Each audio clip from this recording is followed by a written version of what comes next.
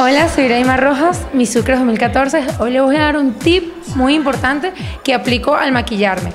Me coloco en los labios base o polvo para que me dure más el labial y no se me corra.